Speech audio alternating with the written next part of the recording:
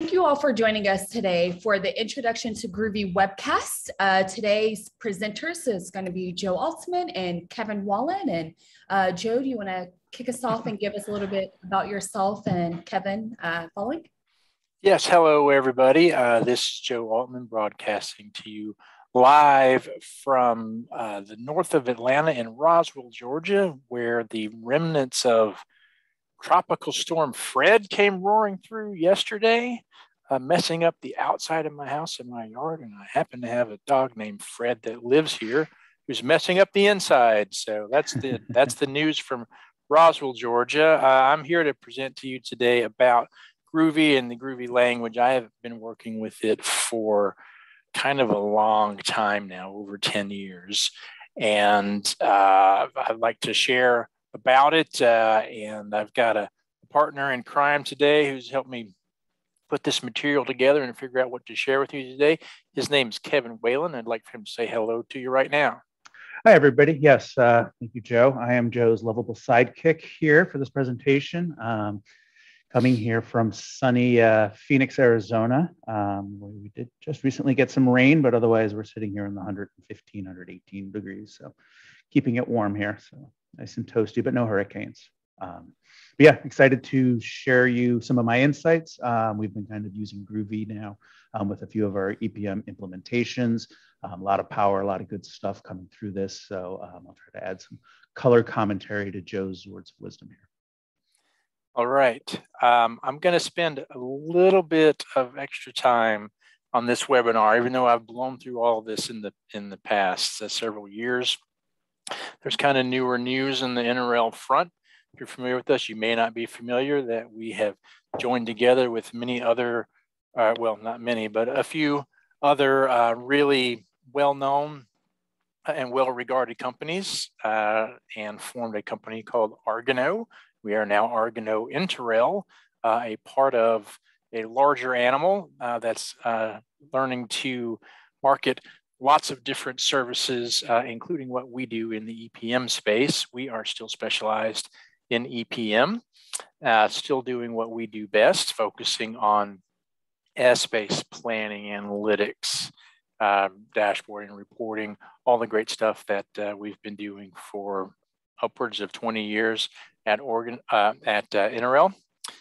we have been multiple years winning a partner of the year with Oracle, a long history of success there. And I'm, I'm proud to work for this company. And we have a little bit of a new reason to be proud, actually, um, because we recently did a study, uh, and everybody wants to get the word out about this uh, in the leadership team.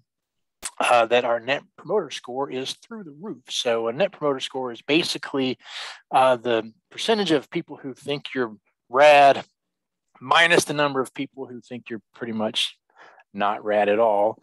Uh, and uh, 77% uh, is, uh, well, this guy's uh, eyes are lit up as stars. that's what happens when you're at 77%. the average in our space for general system integrators is 24%. The big uh, GSIs, the large global system integrators, is about nine. Everybody's unhappy with those we retain a high net promoter score along with all of our other partners at Argano uh, as part of the study that we did uh, to join together and form this great company. Uh, and so what we are planning to do is uh, keep it up around 77 and not uh, sink down into these uh, lower ranks like the other companies that are trying to sell multiple types of services globally. so that is us. and hopefully, if you're interested in learning more about the whole Argano story, we've got the website out there at uh, argano.com. And you can always talk to any Interrel representative who can tell you all about the exciting new times uh, that are happening for us within our company. But we are here right now uh, to talk about Groovy and how Groovy uh, as a language is being used within the EPM cloud space. Uh, I was recently uh, attending remotely to the to the Kscope conference, and there were several sessions in there about Groovy. Whenever I talk to the planning uh, implementers uh, here at, at Interrel uh, or anybody else out there who's working in this this space in the EPM space, building planning applications, uh, everybody's talking about Groovy. Uh, there's a whole lot of functionality that have been brought to the table within planning, and actually it's moved into financial consolidation and close now as well, uh, where this language called Groovy is being used. And it's an exciting new time. Uh, everybody is uh, uh buzzing about this, uh, and everybody's want to learn about it. So thank you for joining here, uh, for trusting us to try and give you a little bit of information about Groovy. We're going to try and cover uh, some basics for those of you who may be new to it, but also we're going to give lots of tips and tricks to people who've been playing with this, who've been using it, kind of know the ropes a little bit. We've got some material in here for you as well. It's pretty clear that uh, Groovy is here to stay within the EPM space. Um, within planning applications in particular, uh, we're seeing it uh, really being implemented as uh, within business rules within most of the applications that we're building. Uh, there's just a lot of power and, and ways to get things done within business rules that are done in, Groovy uh, that are just not offered uh, with the features that existed in the application prior to um, Groovy being introduced. Um, Kevin, can you, we got some chats coming in, maybe they've got some questions. Uh, can you monitor that while yep. I drone on about Groovy and put these people to sleep? There's a comment that that's what we were told about MDX. So, um, yeah, well, actually, that that's not not entirely inaccurate. Except uh, what we are seeing right now is um, Groovy is exploding on the ground in actual implementation. Mm-hmm. So we think that it will probably have a, a, lar- a larger a foothold than uh, MDX wound up. You, you can still get away these days not knowing MDX very well, uh, but anyone who wants to be uh, a fully capable planning administrator is going to need to have some groovy chops. So that's what we're mm-hmm. here to figure out. Um, how can admins get up to speed? Um, there's a lot, like if you have seen any of the other presentations or, or tried to read the documentation, there's quite a lot going on here. What we've tried to do is break it down into categories and give you guidelines on, on how to manage your learning path what areas are important uh, because the documentation oftentimes doesn't tell you what the key spots are, uh, what to concentrate on. So we're going to try to give you some of that information as well. We are here to help, and that's what this uh, webinar is for.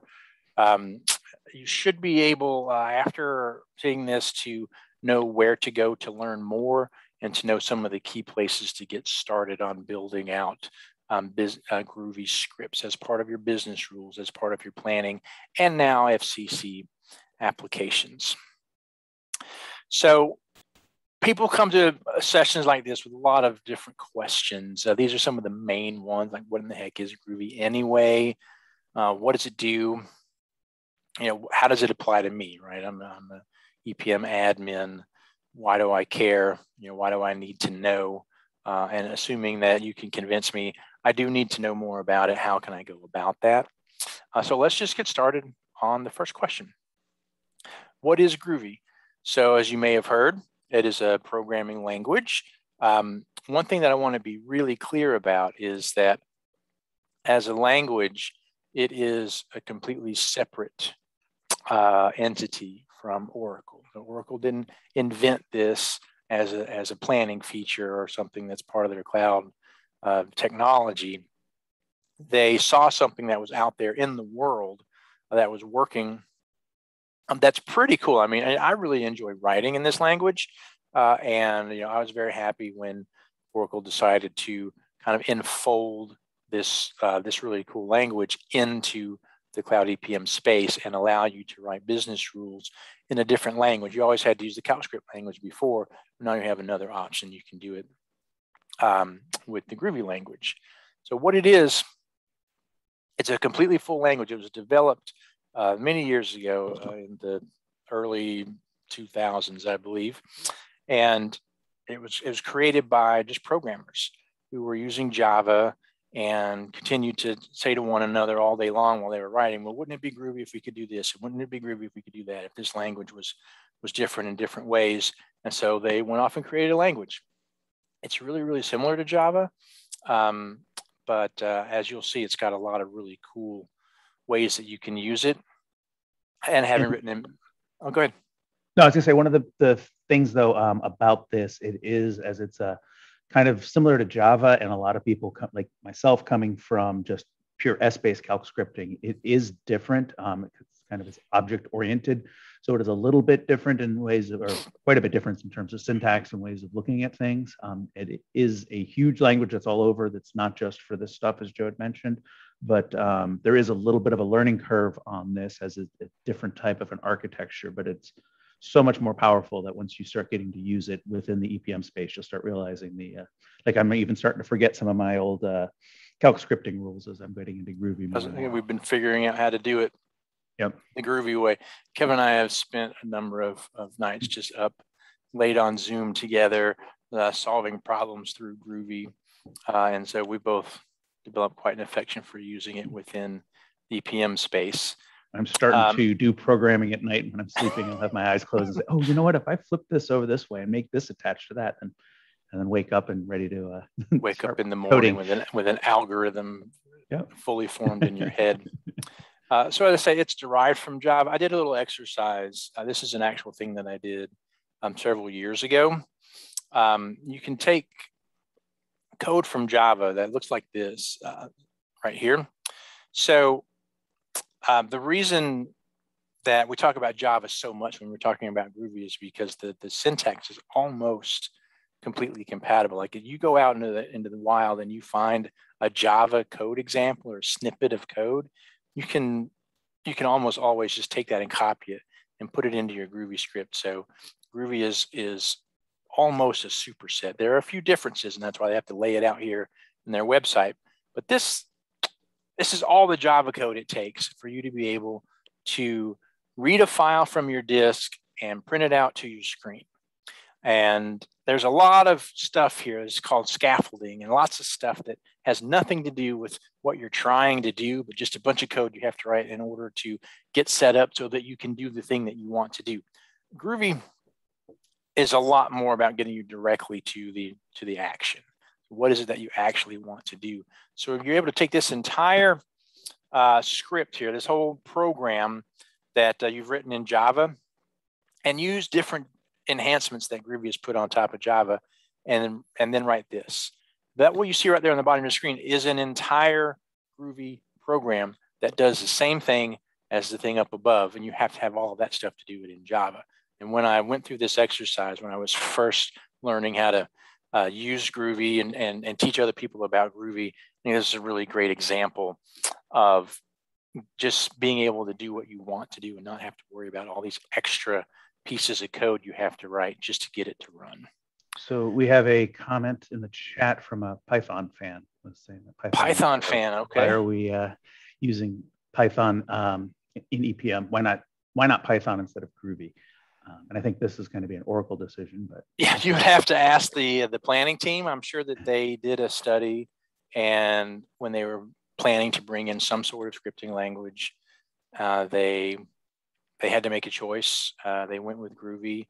It may have something to do with um, its syntax similarity to Java.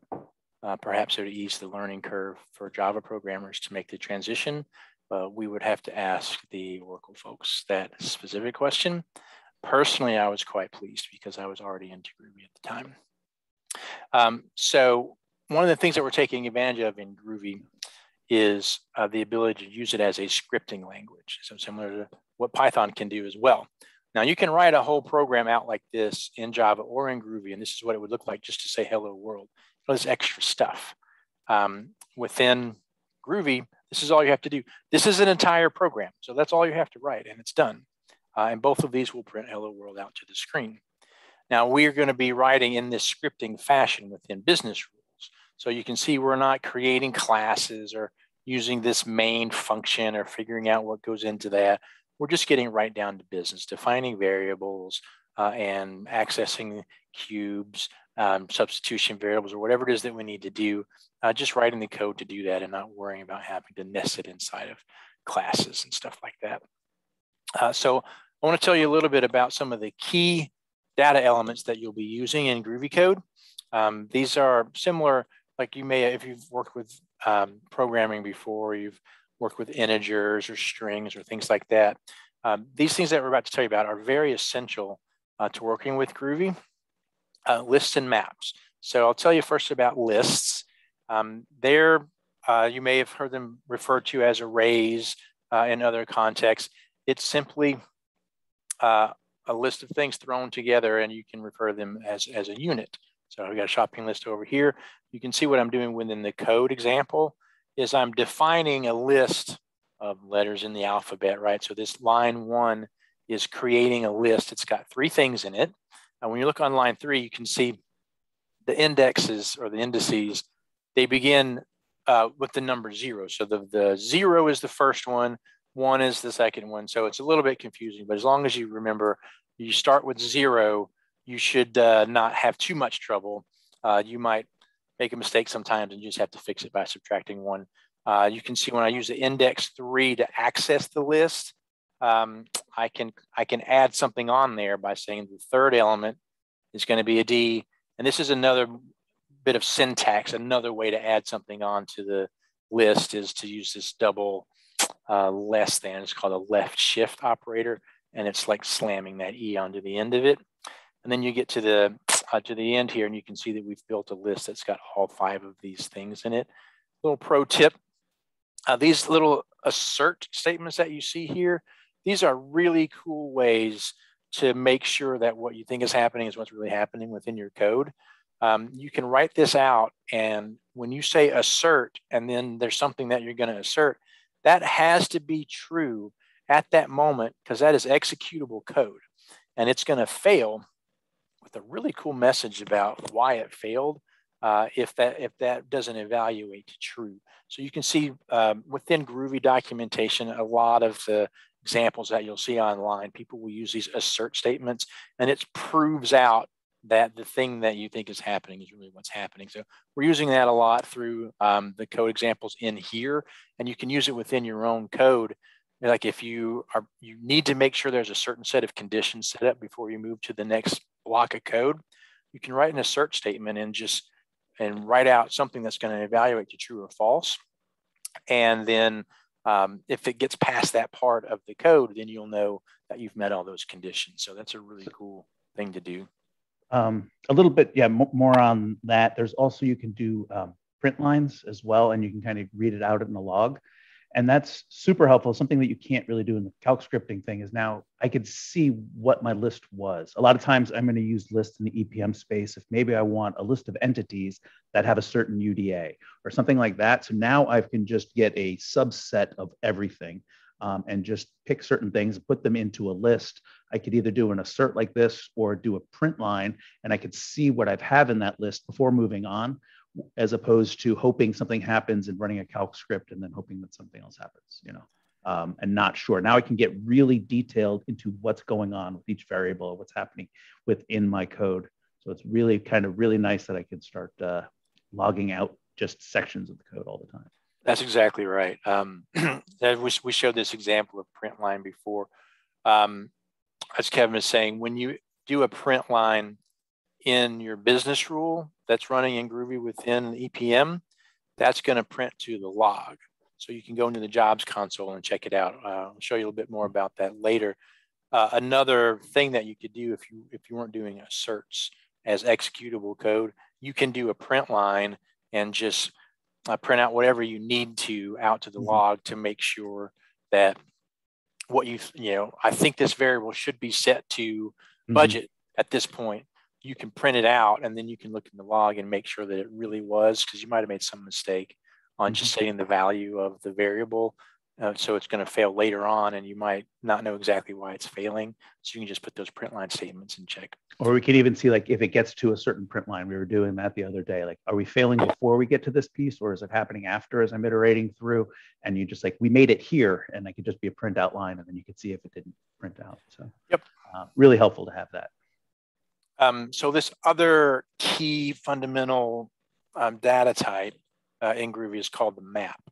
So that's more of a key value, like a dictionary. You're going to have a lookup value, you know, something that it's indexed by, and then whatever the value is. So you can kind of see this table is a, an example of that. And what I'm doing in the example code here is uh, I'm creating a map. So we've got uh, a letter of the alphabet and then some animal that begins with that letter.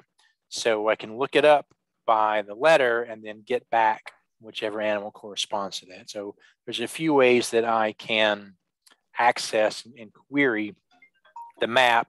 I can use this little dot notation. So I can say dot A is ant, or I can use the same square bracket notation that we saw on the earlier slide where I was accessing the, the, the list. I can do the same thing uh, and use the square brackets to access the map and get back whatever value is stored in there under that key. If I want to add new ones, there's actually, I'm showing you three different ways to add new ones here. The dot notation, the square bracket notation. I can actually also use um, the left shifts on this as well. Uh, and you can see in the end, this is all executable code. You could take this, type it in exactly into a Groovy um, program. And this whole thing, this is this is the entire program it would run. And this is search statement which shows that we have all of these things in the uh, in the map now. So one of the uh, things, I'm sorry to add color commentary on the map. Mm-hmm. oh yeah, um, I find myself a lot of times using Groovy um, is really nice between if you have multiple cubes. So uh, maybe I have some things like I have headcount in the workforce cube, or maybe I have salaries in there, and then I want to go into the financials cube, but I want that to go to GL XYZ. So what I can do is use a map like this, and then I can easily have this out and say salaries goes to this. And as I go through my cube, I, I can push things between cubes very easily. And the maps is kind of the way that uh, you can recognize where things are going. The other nice thing is the way it kind of calls it out. People that aren't familiar with it and have to maintain this code later. I suggest if you look at the map, it's pretty self-explanatory. If I see salaries equals you know, account one, two, three, four, five. You say, okay, well, now I know what that is. If we've changed accounts or we need to add something, it's as easy as just coming in here and fixing the code for, for a non-user, uh, a non-groovy, you know, experienced user can come in. It's a really good name for it. Works out for us and for this use case because it is, it, we can literally use it as a mapping between the accounts that we're seeing in a workforce app, for example, and the accounts that we need that data to go to in the other cube. So we can put the, the workforce account as the key, and then the, and then the value that we're looking up is the is the account in the other cube. So as we're processing that workforce data, we've got the account, you know, in that cube. Just refer up to the map, pull out the account that we need to refer to in the other cube, and then that's what we're going to send the data to on the other side. So we just got a comment here, um, just something from the sales planning where a lot of the scripts are groovy. And yes, as you start going into it, you'll see more and more of the out of the box functionality is becoming groovy. um, and he said it's, it's confusing um, to kind of go through. Really, what he's printed out, I don't know if everybody can see that in the chat or not, but it's just showing it. You're actually just calling out, you're creating your variables there. You're creating a string um, you're creating a list of strings for row dimensions and stuff. Um, but yeah, it, it is something that if you're not used to it, it, it, takes a little bit of, you know, looking at it, understanding how the syntax is. It is a brand new language and it isn't really related to uh, Essbase calc scripting. So yep, uh, and so than that. So it yep. could be confusing and intimidating at first. That's a little bit what we're trying to do here is try to make it a little bit less intimidating. Yeah, I would. I hope after this that you'll be able to look at that code and understand a little bit better what it's trying to do. I'm actually. I do have a little bit about this like list, um, um, angle bracket string stuff. Um, so hopefully, um, will equip you to read through. Really, that's going to be one of the first steps for anybody out there who's learning it. Is just having enough under your belt to read through the stuff that Oracle's already providing that's already been written in Groovy and just try to decipher yeah. what's going on. That'll that'll carry you a long way. And then you can start kind of copying it and mm-hmm. stealing from it and, and adapting it to what you need to do. As any uh, language, so, you know, maybe at first you learn how to read it before you can actually write it or speak it. You know, it takes a little bit of just. That's a good point. Even uh, human languages, right? Um, so, uh, and oh, we got another question. Groovy is tough. You sure they won't just drop it like EPMA? Um, again, I can't speak for Oracle. I'm not here to decide what the future is, I, but they've really taken this into their own coding and they really have it kind of embedded deep into um, EPM. So I'd be really surprised. I, I would agree. They're pretty neck deep in it right now. They've um, told us several times that this Groovy is the future and this is what they're going with. Uh, here's why, right? I, this isn't just a feature that they added because they thought it would be cool and people might use it. They needed this uh, to develop the frameworks for e, for um, for EPBCS. So the frameworks aren't going anywhere, uh, and uh, there were functionality that they needed to provide that CalcScripts weren't doing. Mm-hmm. Like there, there's a lot of things that you need, to, and the efficiency that's provided through here, uh, and the fact that a whole bunch of the framework code uh, is implemented through Groovy. I don't even think there's a way out if they wanted to get out. Uh, but all of the advanced functionality that's happening uh, is because they've got Groovy business rules running. Uh, so uh, I think it's a valid concern. It's, it's a valid question. Uh, my perspective is, of course, you know, uh, I could be proven wrong. I was proven wrong about EPMA, which is a great example that you used. Um, they pulled the rug out from under me on that one sooner than I thought, um, even though they said they wouldn't.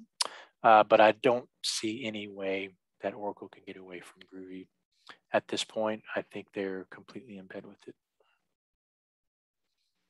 Would you agree, Kevin? Yeah, yeah. And again, as we're starting to see that more and more in the frameworks and their coding, um, you're starting to see that they're using it. And it's providing them a lot more elegant ways of doing things too that they could have maybe done in a huge calc script, but now they can do it in half the code and uh, a lot more efficiently. Mm-hmm. Um, so I want to speak for just a moment about um, the way that lists and maps and things get combined together and nested within one another, because you will have to deal with this within your code within EPM Cloud. Um, so I've, I've done a little bit of combining here because as we know, there's more than one animal that begins with any given letter. So instead of having a single string associated with that letter of the alphabet, I now have a list of animals that begin with, uh, with that letter. So when I look up in the map, when I look up the letter, I'm going to get back from that map a list. And then I, you know, then I can do whatever I want to with that list. So here I am setting it up, um, different uh, uh, lists of uh, two animals that begin with each letter. Uh, then I, when I reference it, I can use that dot notation. That gets me to the list. And then I use the square bracket notation to look into that list and I can pull out the aardvark. Remember, there's zero notated. So the ant is index zero and the aardvark is uh, index one. Uh, I can add things into the, uh, into the map just as well. I'm going to add it uh, as a list at the beginning, and then I can just stick a, uh, another element onto that list with that left shift operator. And then you can see when I get down after running all that code, uh, I have another list now as part of the map that I set up originally, the D and the two animals that go in there. Um, got a lot of dogs in, in my. uh, so we've got a, another question. We use PBCS, not sure where we can use Groovy and how can we do coding in PBCS? Think was that only in PBS, PBCS plus one? If you're only using PBCS, you won't have access to Groovy business rules. Um, you have to be, as Kevin mentioned, PBCS plus one. So some other um, one framework in there, you, you'll get it, uh, or the full ePBCS. So if you're on, I think EPM Cloud standard uses doesn't have access to Groovy. PBCS doesn't have access to Groovy. ePBCS does, and EPM Cloud Enterprise does.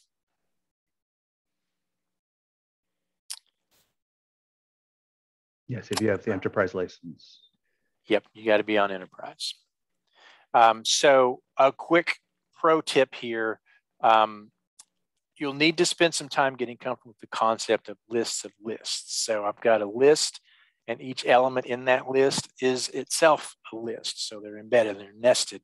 There's a lot of that going on in EPM code, especially when you're creating your mm-hmm. own grids to query the database. Uh, so it takes a, takes a bit of work to wrap your head around that as Kevin can uh, attest. Um, Yeah, you might have, like, I'm looking at um, a row and I want to say, I have, here's a dimension. This is my cost center dimension. That's going to be a list. Maybe I have a list of dimensions for a POV, right? It- might be um, cost center, plan element, blah, blah, blah. That's a list of items. And then maybe each one of those, I want to say which members are in that. So maybe I have, you know, cost center 2614, 2673, descendants of that. Now I'm making a list of lists. So it's just kind of a concept that uh, he's kind of talking about that nested structure and, and what they're looking for. You'll see that a lot in the uh, EPM when we're Uh, We're building to provide you with, with enough tools to play with that idea and get comfortable with it. Uh, there's some other things that you're going to see frequently in EPM code, which is um, uh, they're, well, they're called iterators. So different ways that you can interact with those items that we were talking about that are called collections. Um, you're going to see this function called each quite a lot in, inside of code. And that's what you're using to loop through one of these arrays or one of these maps and look at each of the elements that are in there one by one by one. So you can see here, I've got a really simple list that I've created. It's just the numbers one, two, three.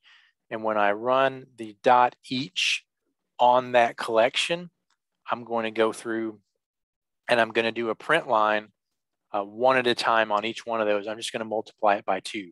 So you can see the first print line gets me one times two, which is two, and then I get four, and then I get six. This little variable name called it is just, it just happens automatically. So when I'm going to loop, if I haven't told the system what I want to call it, it's just going to call it it. So the first time through it equals one, the next time through it equals two, third time through it equals three. You can see here, um, I can go ahead and give it a name uh, within inside of this each. Uh, so it's not called it anymore. I've told it first I'm going to have, I've got a nested list. So I've got a list of lists right here. Uh, and then when I loop through the nested list, I'm going to have each one of the items is going to be an inner list. So I'm going to be working on a list and then I'm going to do an each on that. So I've got nested eaches. And you can see here as I walk through, I'm just going to walk, I'm first going to walk through and do this list one at a time, one and two. Then I'm going to do the next list and I'm going to get A and B. So I'm just running this print line ultimately four times. Two when I iterate on this list and then two more when I iterate on that list. Um, so I, I do recommend uh, doing this extra bit and, and providing names for your variables if you get more than one deep on any of your loops. And sometimes you're just going to want to use it um, anyway, uh, even if there's only one simple uh, loop that you're doing here, you'll go ahead and uh, give it a name just to be really clear about what's going on. One of the things that I would do with the iterator too is maybe I'm going through and I've created a grid um, in say the workforce cube and I have all the different um, accounts that I want to use, but now I want to map those and that map what we talked about before. I'll go through in each one and change the header now from the um, workforce planning header account name to the financials account name.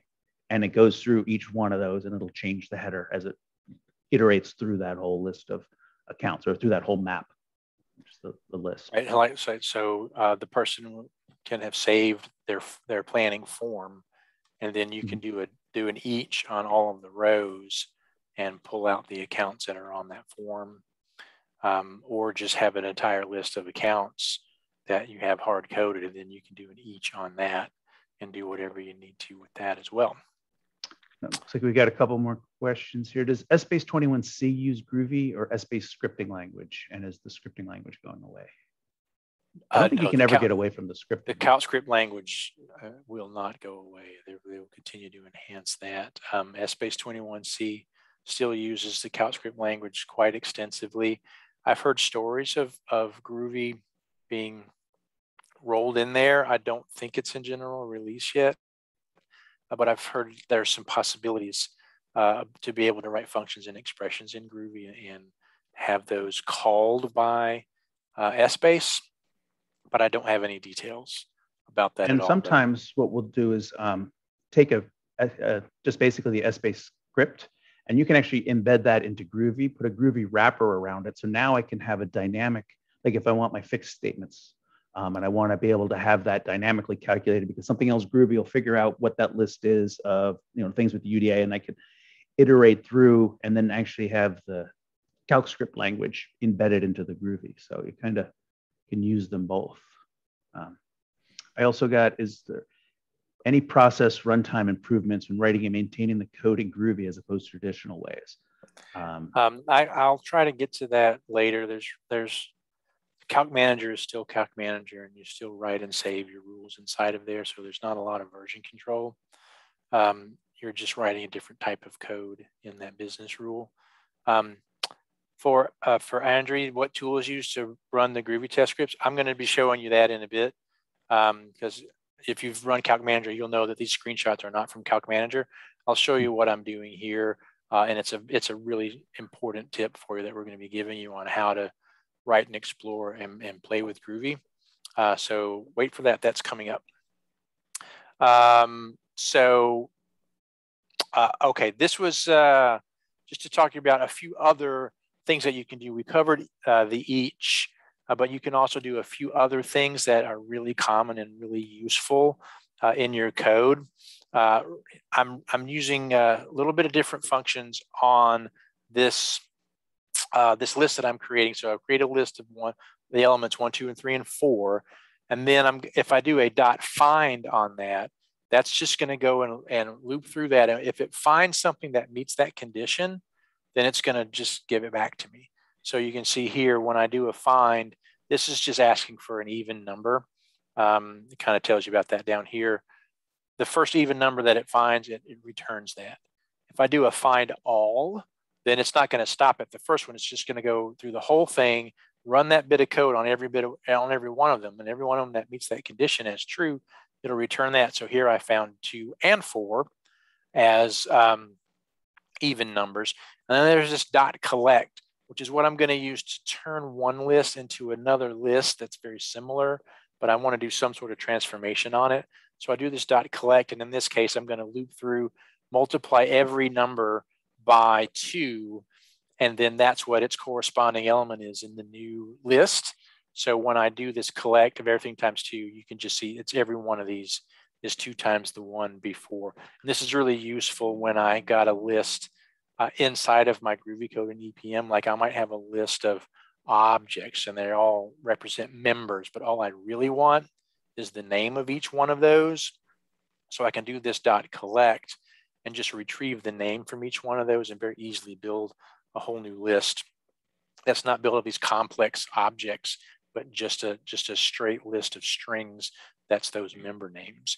Uh, here's a few other examples of other cool things that you can do. You can find out if if anything in that list matches my criteria, it'll just say yes or no. This, you know, true, one of them's even. Is every one of them in that list? Does it match my condition? You know, is every one of those numbers even? No. So I get a false back. It doesn't match. I can go and find things inside of there. Um, I find the first, the first even one. Um, I find I can sum them up. I can get them in. I can get the max. I can get the average. All those are just little dot functions that I can call on those uh, lists. So a lot of cool things that you can do. You'll see most of, you'll see find and find all and collect frequently in Groovy code. These other ones are a little bit more uh, rare, but uh, you know they're good examples. Keep you from having to write your own code to do the same thing. If you know that they're in there, you can just go and grab it.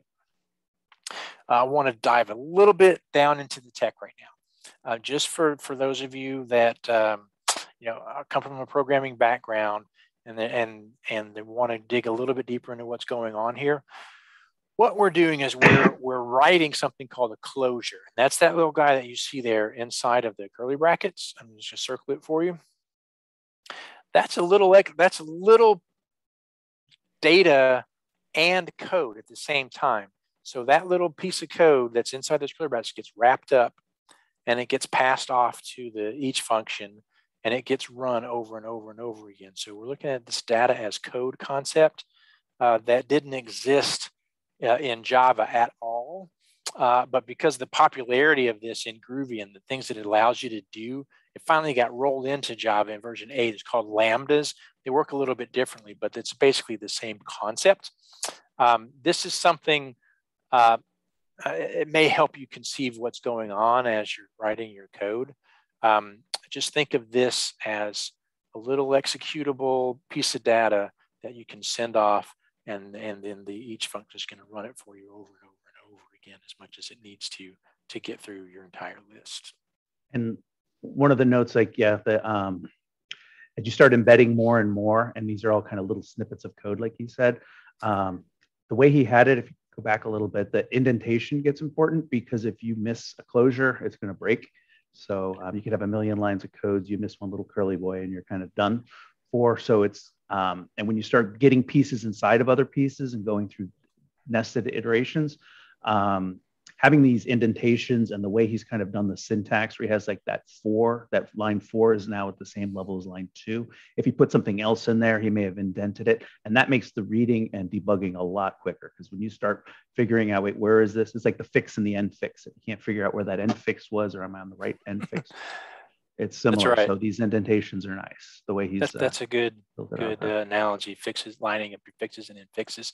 Yeah, I would recommend you to be very vigilant about your your indentation. Uh, and t- this is typically the way people write it.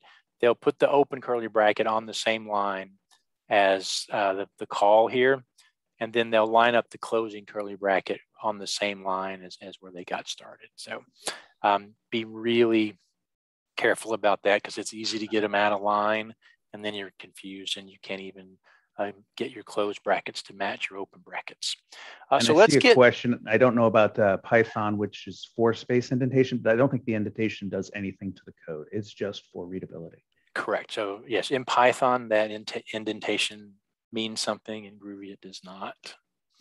So you can mess yourself up uh, in ways that uh, you might not notice by indenting wrong, and you just might look like it does one thing when it's really doing something else. So be really careful about how you indent and how you line up your curly braces. So let's talk about how this actually works on the ground within EPM Cloud. There's a few things that you can do, uh, and it's going to be um, uh, falling in, in, a few different ways that you can use Groovy to get things done uh, within the EPM space. Now, one of them is just creating calc scripts on the fly. So instead of having a script that's written, you know, and maybe I can substitute in a few variables, like that's all I can do here. Um, that you see on the left side, I can I can grab some runtime prompts or substitution variables or something and get them into a script.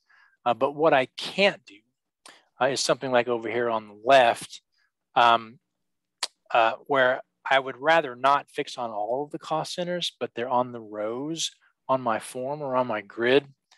And I want to be able to pull them out off of the rows. They're defined as, as you know, uh, at level from all cost centers, but then I've got suppression on, so most of them don't show up. How do I do that in a calc script? I, I really, I really can't do that on a calc script that's uh, attached to a form and, and react to it uh, as if suppression were on. So there's some stuff that I just can't do.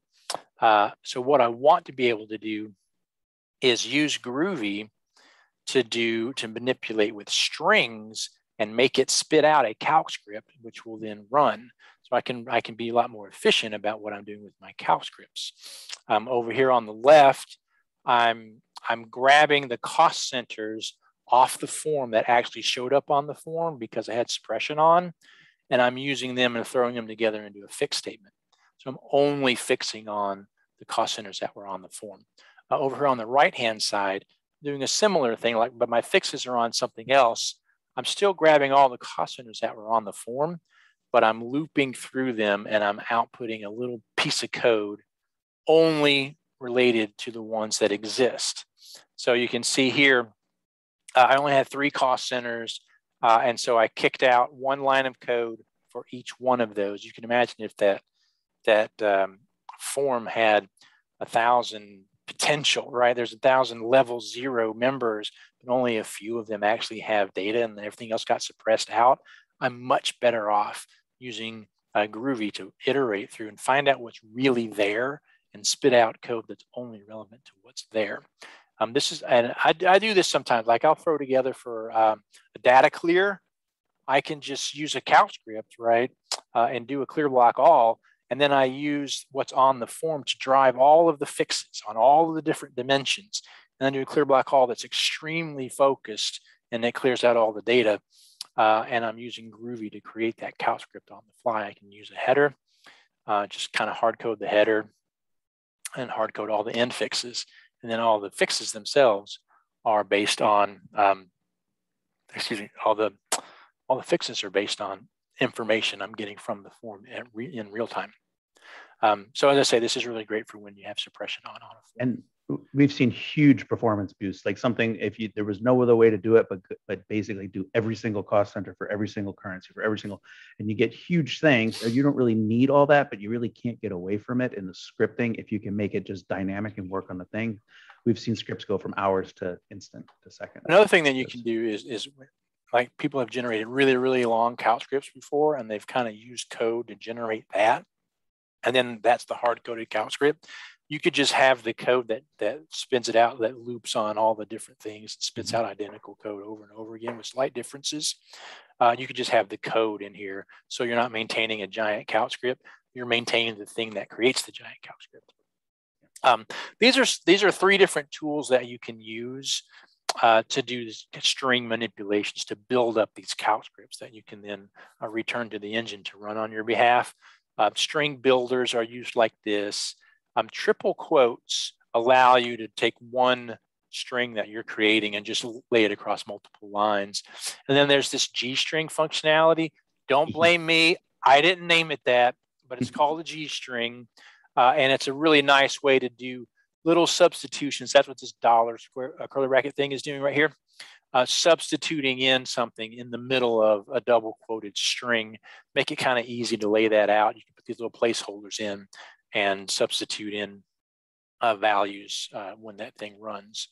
Um, one of the things that you'll be doing even more often than generating CalcScript is going to be directly interacting with grids, whether it be the form that the user has saved like this, uh, or whether you're generating your own, and you can create them in the background, retrieve data or send data as well um, using the, the API that they've built for Groovy. So the simplest thing that you'll do is just do a run on save, and then you'll you'll have access to the grid that um, the form defines. So we can see all of this data, we can see all the rows, POV, and everything. Um, and you can use this information to fix on only what you need to. You can even, as we'll see in a second, um, focus on only the pieces of data uh, that have changed. So the cells that are yellow now because the user made some sort of change, we can laser focus only on the data that has changed uh, and then respond only to those um, intersections so that we're not having to deal with a bunch of stuff where they've just saved the same number back into the database. You can get really smart with what you're doing mm-hmm. as you're walking through here. You can look at the data, you can validate it, you can test it for um, whether it meets certain criteria. You can you can compare it to data from some other place in the database. You can multiply it by a driver that's not even on the form. A lot of cool stuff that you can do. Um, but the simplest thing is just to process um, the grid coming off of the form itself. Um, this is what the code looks like uh, when you're only looking for changed data cells. So you get that grid. So that's referring to the entire thing. And then I can do this little iter cell iterator thing and ask it to give me back only the cells that have been edited. And then I'm going to walk through those cells that have been edited. I'm doing something very simple here, and I'm just outputting their data uh, into the log so I can see here. Uh, I've grabbed all these changed cells and nothing else. Um, so this can be a very uh, powerful way uh, to write efficient code um, hmm. and ignore everything that the user ignored, right? Um, let's see this is a really uh, important thing, and I'm going to show you how to use this in a second. Um, there's two different ways that I can build a grid through code. You know, there's no real user interface here. You never see it. It's happening back there. But I can use this data grid definition uh, and put together through code that looks something like this. I can put together a grid that works very similar to a planning form, defining it the same way, my POV and my page, and when I'm defining my rows and columns, I can use functions like this you can see right here. I level zero descendants of this dimension uh, or this member. Like that's exactly the same syntax that you're using when you're building a planning form. So when you're using this data grid definition, like when you need to build something that's using these metadata functions, you can use all the same ones that you're using when you build a planning form. And then that thing that gets built back there for you, you can visualize it exactly as you do a planning form. You can turn suppression on and all that stuff too as well when you build it. Now, the other way to build it uh, is not the data grid definition, but just a data grid. I'm not a huge fan of the way these things are named, but that's why I'm going to try and tell you how they work. This one works a lot like SmartView. So you can imagine this just as within your Excel, and you've very clearly laid out in every single cell what member that's going to be in there. Then, and then you can do that retrieve and pull the data in, or you can put data into it and save it back. So it's working exactly like SmartView on both sides, retrieval and saves. And one thing that's really cool about uh, using this data grid to lay out data that you want to save to the database is it will create a block every time. You're not going to run into block creation issues that confuse a lot of folks when they're trying to deal with the calc scripts and why isn't it working and it turns out to be a block creation issue. Um, if you if you're using Essbase from back in the day or SmartView, uh, and you need to create a block, what would you do? You, you would put some data in in SmartView and you'd save it. This is doing the exact same thing. You're populating that grid and you're saving it. You're guaranteed that you're going to get block creation. When you figure out what data you need in the database, put it in a grid and save it. So a couple of actually back on that. One yeah, a couple of quick things I know. Um, if you see like add the POV um, where you get years, so the, those are the names of your dimensions. And then if you see FY16 current, and those are again lists of lists, you can tell by the brackets as you mentioned before. But this is something somebody not has any idea and I have to maintain this, well, I could see years equals FY16. So if I need to change that to FY17, I don't need to really know Groovy. It's easy enough and clear enough that I can kind of at least understand if I know my uh, dimensions and I know my uh, members that I'm looking for, I can actually change that, like change bank balance to January or something like that. And I can see that it's lined up with the period. So there is a bit of intuitiveness um, that makes it somewhat for somebody that's completely scared of this whole kind of thing, there's certain parts of code that you can just be uh, like this, these blocks of codes I've given to other people that haven't used Groovy at all.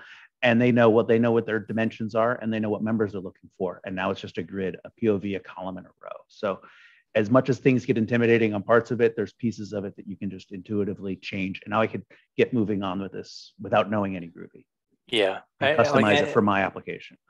Like this call here that does add POV it has this is a list of the dimensions but when we mm-hmm. get into telling what the members are within those dimensions we've got an extra layer of, of square brackets so this is a list of lists uh, same thing for the add column this is a list of, dimension, of dimensions and this is a list of the elements within each one of those dimensions so yeah thanks for bringing that up kim um, this is a really neat thing that we've been doing here the last few months at Argano Interrel um, to create really cool functionality within planning.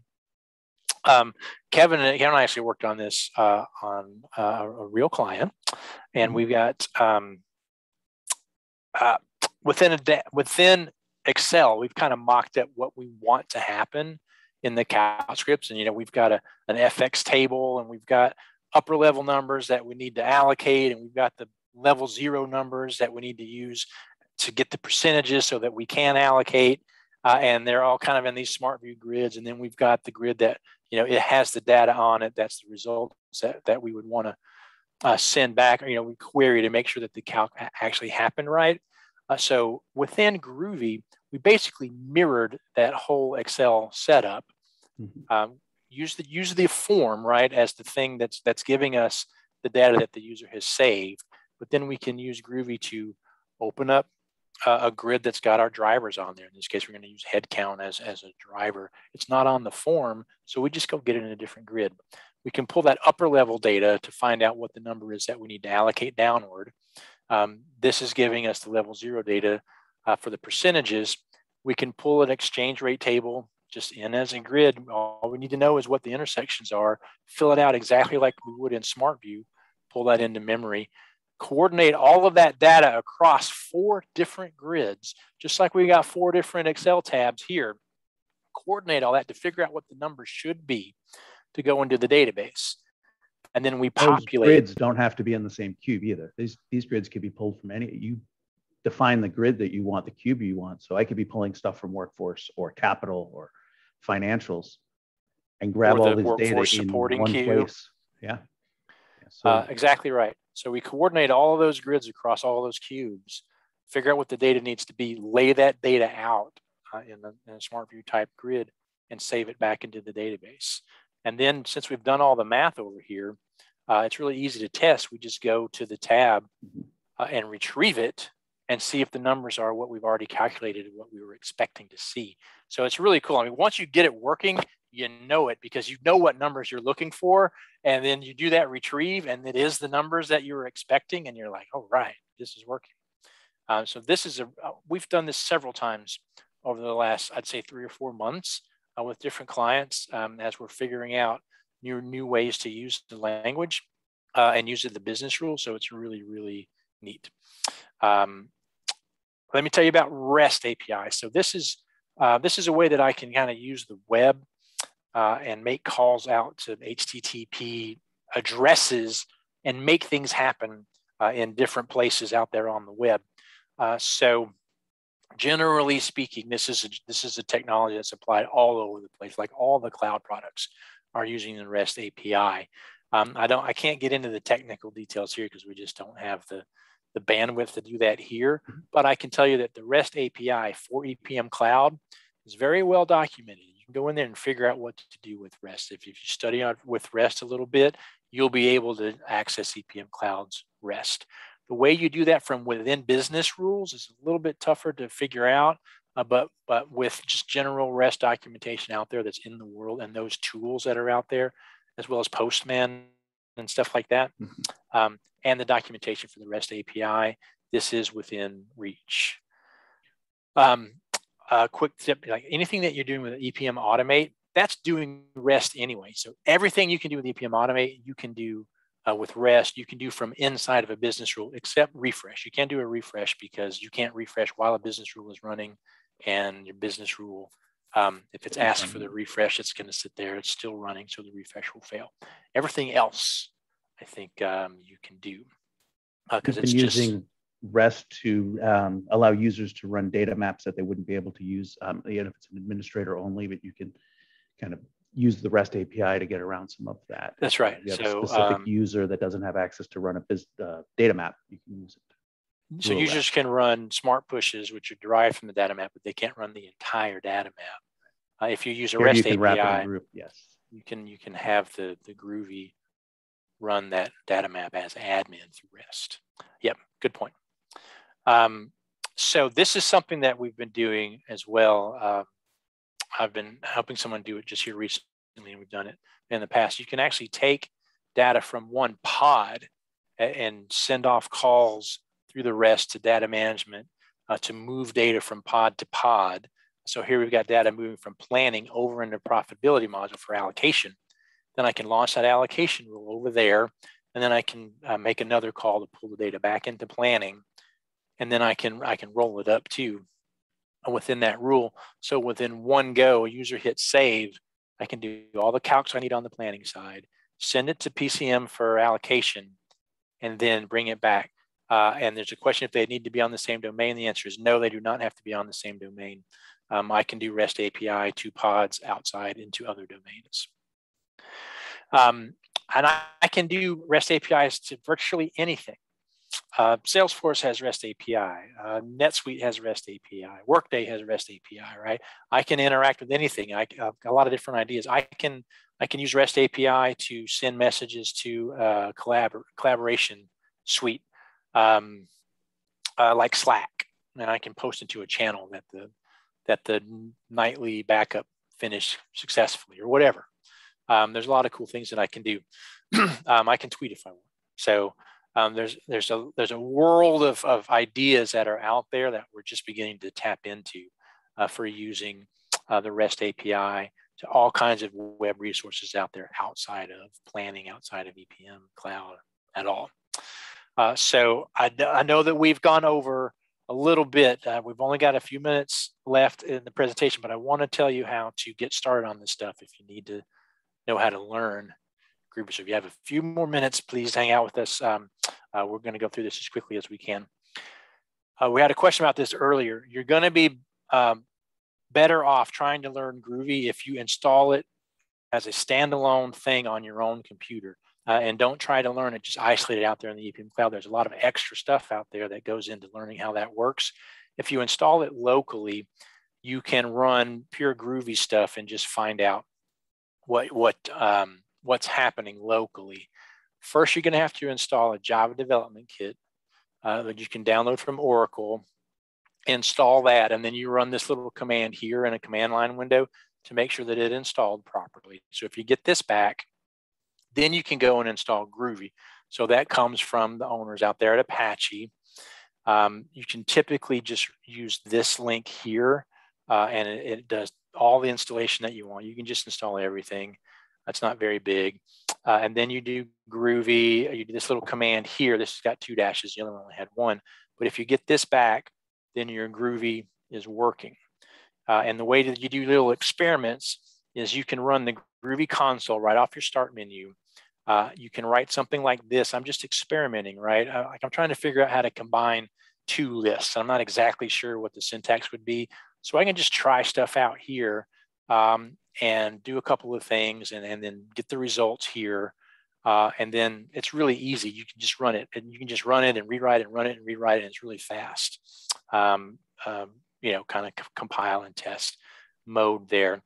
Uh, so these are where most of these screenshots have been coming from in this presentation, just code that I was writing uh, on my own computer in the Groovy console. You can roll it into other, like if you're a programmer, you can roll it into, um, I don't know, Eclipse or um, IntelliJ IDEA, right? Um, those sorts of things. Uh, that's a little bit more involved. This is a really good way to just try out and, and play with Groovy and run things that you're finding on the web or just trying to explore the language features. That's a separate endeavor. Um, uh, to learn the language, you just want to use general tools out there. There's books, there's blogs, there's um, uh, there's actually someone who's been writing. Uh, Kyle Goodfriend in Hyperion has done like 50 different um, mm-hmm. entries on his blog about how to use Groovy. Uh, and it's in a, it's from an EPM perspective, so that's really great too. Um, this is for learning about the language. Um, if you want to learn about the API itself, you got to go to that Oracle documentation. So you can find this within the cloud documentation. It will link you to this here. That's called the Java docs. I want you to know that there are examples, but you have to know where they are.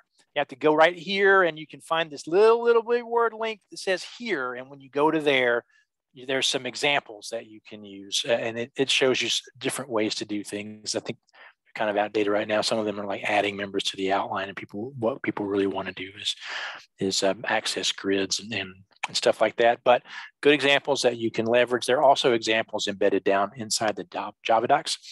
Speaking of which, navigating the Java docs is a skill that you will need to develop if you don't have that already.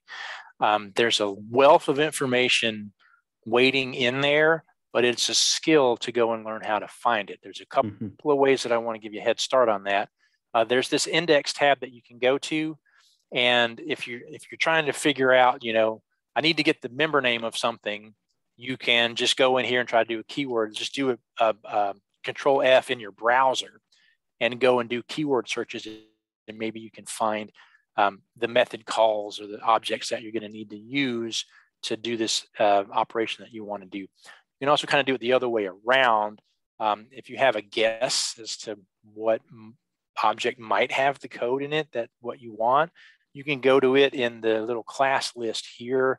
Uh, and like if I if I think I needed to do uh, a get density because I want to know if this dimension is sparse or dense, um, I could go to the dimension class and then read up on that. Um, but you'll you'll you'll gradually get a feel for how the Java docs work and how to navigate it and find what you're looking for. Um, Once you first see this, it's really kind of you're like, what's all this mess? If you go back for real quick, just just to show sure. that uh, ad you see add column, list string, list, list string, you're like that doesn't mean anything. That actually does mean something. And you will use that because you want a list of strings, which is the name of the members, and then the, a list of a list of strings.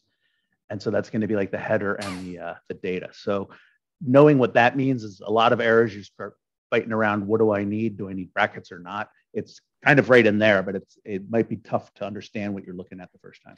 Yeah, there's there's a couple of things that you'll learn from the Java docs. It's like what is the method asking me to provide it? Mm-hmm. So like as as um, Kevin was pointing out, it's going to want two lists, and the first list is a list of strings. The second list is a list of list of strings within the dimension. I'm going to um, oh yeah, I want the dimension name, and then the second list, yeah. list of string is going to be the members inside that dimension as set up as list of lists. So it will kind of tell you, strings. it will tell you what to pass to that if you can read this part. But the first um, time you look at that, I looked at it and said, well, I just, this doesn't tell me anything. I don't know what's going on. Yep, a little practice. Those are called generics. I've got a slide about those in a second. Um, so yeah, they will tell you two things, like what, what it's asking for and then it also will tell you what you get back. So if I follow these links and I go and read up on it, you can see here, like this returns an integer, and this returns an integer, and this returns an attribute dimension object. So you can go and, and learn from the Java docs what you're going to get back if you call that function. So here's a few things that we wanted to, like there's no space like for them to logically go, but things that you need to know. When you write a Groovy script uh, in a business rule, throw this little co magic comment line up top. If you're going to be using runtime prompts, just refer to them inside of curly braces up here in the first line. Uh, and the, these will be the names of the runtime prompts that you're going to use. This one, um, even if you're not using runtime prompts, put this sort of blank one up there. As I say, it's kind of a magic uh, comment. You want it to be on line one of your script. Uh, and Oracle just sort of built this in so you can use it to get runtime prompts if you need them. If you don't need them, go ahead and have it up there and have it be empty because it just kind of it will mess up your code later on, and you'll thank me at some point um, for this tip. Uh, when things act very confusingly, uh, and then you remember to do this, and things are working again. So just always have that as the first line, uh, and you'll save yourself some headaches. Um, the second, as Kevin alluded to before, uh, use the print line a lot. Just print like every step of the way, because when you get over uh, and you, if this thing fails somewhere along the way, all of the log entries will have been made up to that point. So you can see here, I'm walking through, I'm logging where I start. I'm logging like some of the variables, like I want to make sure that they're the right thing as I'm looping through, I'm making sure that I'm processing the right thing. And then I'm just kind of, oh, I finished. So if I get all the way to the end, that means that the whole thing ran. You're, this is coming out of the job console. Um, so uh, you'll want to make a habit of, of running the thing, uh, having lots of log messages. This is while you're building and trying to figure out how to make it work.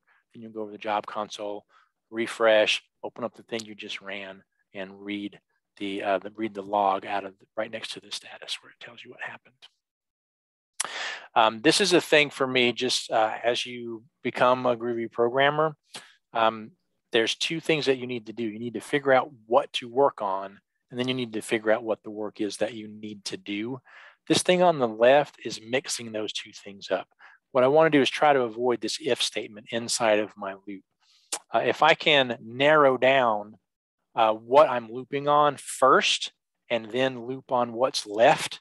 That's what I want to do. So instead of uh, instead of looping on this whole thing and doing an if statement, if it is even, then do the thing.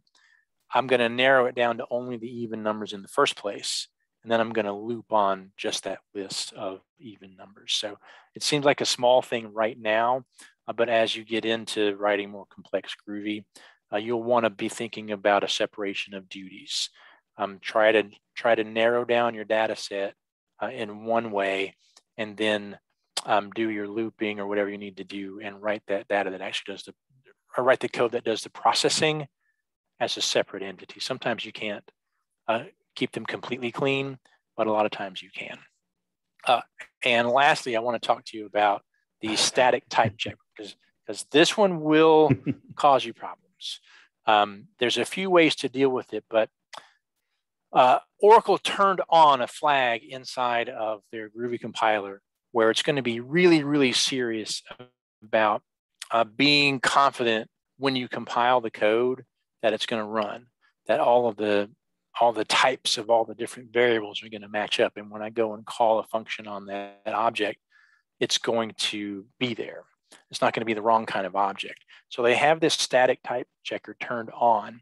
And sometimes you'll get these messages back where it doesn't understand what this method is or doesn't exist or can't call this on that kind of object, that sort of thing. And you'll need to be really more explicit about what you're doing to satisfy the static type checker. Now, one thing that you can do is just be really, really explicit about what your variables are from the beginning. So, um, you know, def is, is a completely generic one. It's just define this variable, and it can be anything. Sometimes the static type checker can figure it out from the way you're using it, um, what what it's going to be when it gets to a certain point. So it won't mind that much that you're using def. But uh, if you want to just from the get go be really clear, like this one's going to be a data cell, and this one's going to be a member, and this one's going to be a dimension, and this one's going to be a, a, a grid. You can be very explicit, and a lot of ex- example code is pretty explicit about it. Personally, I don't do it that way because I, I cut my teeth on the other way of writing Groovy, uh, where mostly you use defs and you don't care. I, I get more specific when the static type checker forces me to. Some other people choose to be just to be super explicit from the get-go. Um, another way to deal with it is to do this casting thing. So you can, uh, at a certain time where if it's barfing on a particular line of code and it says it doesn't know how to do this, you can just kind of coerce objects from, or you know, prove to the compiler that at this point it's going to be a float or it's going to be a data cell or whatever it may be. Um, so you can use casting so you can read up on that. There's two different ways to do that. Uh, and the other is the generics that we talked about before. So when you're defining a list, it's not a it's not just a list. You can say it's a list of strings. You can say it's it's a map that has a string for a key and an integer for a value that sort of thing. Uh, and you can see within uh, the Java docs that they use that syntax a lot. And sometimes you need to adapt uh, and use that within your uh, declarations of lists and maps just to convince the static type checker that it's going to be okay. This is really a techie topic, and I would really love to ignore it completely and not have to tell you about it. But uh, it, it, this is probably the, biggest pain about writing Groovy code in business rules mm-hmm. is is is once, once you get to a certain point and you can't get it to compile and you've got to figure out why the static type checker is is giving you grief. So unfortunately, you know, uh, it's a bit of a down note uh, to end on, um, but there is a there is a way through, and you can just look into these three different ways to kind of deal with that issue. And uh, we have not run into one yet that we haven't figured out, but sometimes it's a it's a bit of a challenge. Um, so on that note, I'm going to give you a little bit more of an up note about uh, things that we do have coming up. Um, you just covered Intro to Groovy today. Uh, hope, hopefully I hit the right level for all of you if you were wanting to learn about it new or um, kind of we're bringing some experience in and we're looking for some, some deeper material.